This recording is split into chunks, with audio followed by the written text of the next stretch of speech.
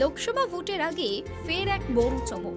আন্তর্জাতিক নারী দিবসে রাষ্ট্রপতি দ্রৌপদী মুর্মু, ইনফোসিস ফাউন্ডেশনের চেয়ারপারসন সুধা মূর্তিকে রাজ্যসভায় মনোনয়ন দিলেন। প্রধানমন্ত্রী নরেন্দ্র মোদী এক টুইটে এই সিদ্ধান্তকে স্বাগত জানিয়ে লিখেছেন, সামাজিক, মানবিক এবং শিক্ষাক্ষেত্র সহ বিভিন্ন ক্ষেত্রে সুধাজির অসামান্য অবদান রয়েছে। রাজ্যসভায় তার উপস্থিতি নারী শক্তির প্রতি এক সাক্ষ্য বহন করবে। জাতির ভবিষ্যৎ গঠনে নারীদের শক্তি এবং দক্ষতার পরিচয় বাহক হবে তার উপস্থিতি। উল্লেখ্য, তিয়াত্তর বছর বয়সেই সুধামূর্তিকে দু হাজার ছয় সালে পদ্মশ্রী এবং দু হাজার তেইশ সালে পদ্মভূষণ সম্মানে ভূষিত করেছিল সরকার। ইনফোসিসের প্রতিষ্ঠাতা নারায়ণ সুধা মূর্তি হলেন ব্রিটেনের প্রধানমন্ত্রী ঋষি সুনকের শাশুড়ি। দু সালে কন্নড় সাহিত্যে অসামান্য অবদানের জন্য আর কে নারায়ণ পুরস্কার পেয়েছিলেন। মূর্তির জন্ম উনিশশো পঞ্চাশ সালে উত্তর কর্ণাটকের হাভেরি জেলার শিগগাঁওয়ে বাবা আর এইচ কুলকার্নি ছিলেন সার্জেন এবং মা বিমলা কুলকার্নি ছিলেন শিক্ষিকা। ব্রাহ্মণ পরিবারের কন্যা মূর্তি বিভিবি কলেজ থেকে ইঞ্জিনিয়ারিং পাশ করেন প্রথম স্থানে। নারায়ণ মূর্তির সঙ্গে তার বিয়ে হয় উনিশশো আটাত্তর সালে। কন্যা অক্ষতা মূর্তি হলেন ব্রিটিশ প্রধানমন্ত্রী সুনকের স্ত্রী। কর্ণাটকে ষাট হাজারের বেশি গ্রন্থাগার নির্মাণ করেছেন। নারী দিবসে হলেও এবং সুধা মূর্তির বিশিষ্ট স্বাধীন পরিচয় সত্ত্বেও রাজনৈতিক মহলে প্রশ্ন উঠছে লোকসভা ভোটের মুখে তার রাজ্যসভার সদস্য পদে মনোনয়ন। নিয়ে রাজনৈতিক বিশেষজ্ঞদের একাংশের মতে, হিন্দি বলয়ে বিজেপি পদ্ম ফোটাতে পারলেও এখনও পর্যন্ত তাদের দাক্ষিণাত্য অভিযান ব্যর্থই থেকে গিয়েছে। বিশেষত গত বছর কর্ণাটক বিধানসভা ভোটে কংগ্রেসের কাছে গোহারা হেরেছে বিজেপি। এবারের লোকসভা ভোটে বিজেপি দক্ষিণ ভারতকেই টার্গেট করে এগোচ্ছে। তার মধ্যে অন্ধ্রপ্রদেশ এবং তেলেঙ্গানায় খাতা খুলতে পারলেও কেরল এবং কর্ণাটক নিয়ে দুশ্চিন্তায় রয়েছে পদ্ম নেতৃত্ব। বিশেষ করে কর্ণাটক পরাজয়ের গ্লানি ভুলতে পারছে না দিল্লির নেতৃত্ব। সুধামূর্তি কর্ণাটক সহ দক্ষিণ ভারতে একটি পরিচিত নামে শুধু নয় সাধারণ মানুষের কাছেও তার মানবিক কাজকর্মের কারণে অতি পরিচিত মুখ। এছাড়া ব্রিটিশ প্রধানমন্ত্রীর ঘনিষ্ঠ আত্মীয় হওয়ার সুবাদে ব্রিটেন ভারত দ্বিপাক্ষিক সম্পর্ক অনেক চওড়া হওয়ার আশা করা যায়।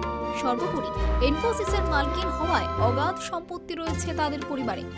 সব মিলিয়ে দক্ষিণ ভারতীয় রাজনীতিতে মূর্তির পরিচ্ছন্ন সর্বজন গ্রাহ্য আন্তরিক মূর্তিকে তুলে ধরে ভোটের মুখে চমক দেওয়ার চেষ্টায় বলে রাজনীতি বিশেষজ্ঞদের অনেকেরই মত। ব্যুরো রিপোর্ট, নিউজ বর্তমান লোকসভা ভোটের আগে ফের এক বড় চমক। আন্তর্জাতিক নারী দিবসে রাষ্ট্রপতি দ্রৌপদী মুর্মু, ইনফোসিস ফাউন্ডেশনের চেয়ারপারসন সুধা মূর্তিকে রাজ্যসভায় মনোনয়ন দিলেন। প্রধানমন্ত্রী নরেন্দ্র মোদী এক টুইটে এই সিদ্ধান্তকে স্বাগত জানিয়ে লিখেছেন, সামাজিক, মানবিক এবং শিক্ষাক্ষেত্র সহ বিভিন্ন ক্ষেত্রে সুধাজির অসামান্য অবদান রয়েছে। রাজ্যসভায় তার উপস্থিতি নারী শক্তির প্রতি এক সাক্ষ্য বহন করবে।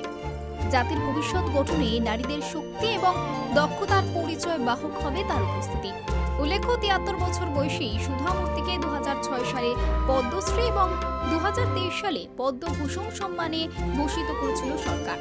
ইনফোসিসের প্রতিষ্ঠাতা নারায়ণ মূর্তির স্ত্রী সুধা মূর্তি হলেন ব্রিটেনের প্রধানমন্ত্রী ঋষি সুনকের শাশুড়ি। দু সালে কন্নড় সাহিত্যে অসামান্য অবদানের জন্য আর কে নারায়ণ পুরস্কার পেয়েছিলেন। মূর্তির জন্ম উনিশশো পঞ্চাশ সালে উত্তর কর্ণাটকের হাভেরি জেলার শিগগাঁওয়ে বাবা আর এইচ কুলকার্নি ছিলেন সার্জেন এবং মা বিমলা কুলকার্নি ছিলেন শিক্ষিকা।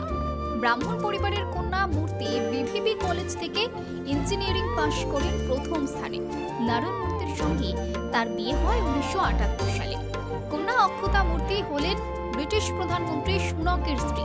কর্ণাটকে ষাট হাজারের বেশি গ্রন্থাগার নির্মাণ করেছে। নারী দিবসে হলেও এবং সুধা মূর্তির বিশিষ্ট স্বাধীন পরিচয় সত্ত্বেও রাজনৈতিক মহলে প্রশ্ন উঠছে লোকসভা ভোটের মুখে তার রাজ্যসভার সদস্য পদে মনোনয়ন নিয়ে রাজনৈতিক বিশেষজ্ঞদের একাংশের মতে, হিন্দি বলয়ে বিজেপি পদ্ম ফোটাতে পারলেও এখনও পর্যন্ত তাদের দাক্ষিণাত্য অভিযান ব্যর্থই থেকে গিয়েছে। বিশেষত গত বছর কর্ণাটক বিধানসভা ভোটে কংগ্রেসের কাছে গোহারা হেরেছে বিজেপি। এবারের লোকসভা ভোটে বিজেপি দক্ষিণ ভারতকেই টার্গেট করে এগোচ্ছে।